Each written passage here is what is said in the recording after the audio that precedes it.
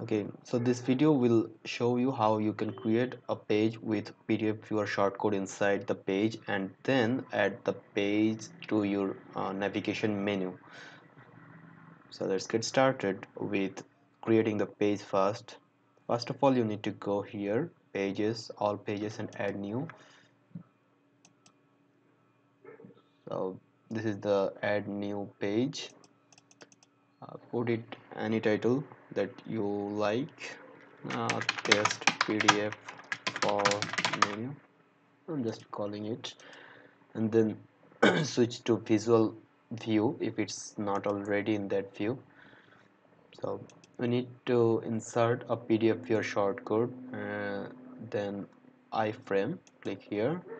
So you can see the file URL here. We can get it from our media library let's see. We have here.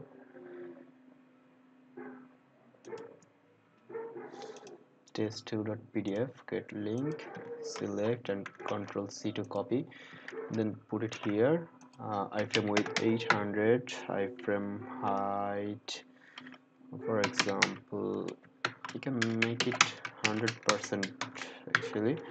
So iframe height is 1000 pixel so configure all the options you need here and then click ok. Click on publish. So the page is now published.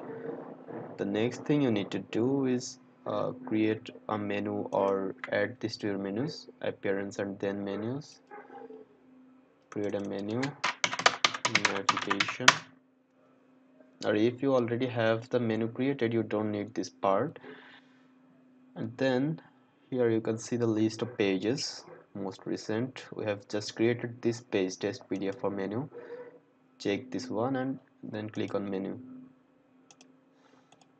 Save menu. Let's see what we have on the front end. As you can see the menu here have that. And you can just click on the menu item to open that PDF open that page with the PDF.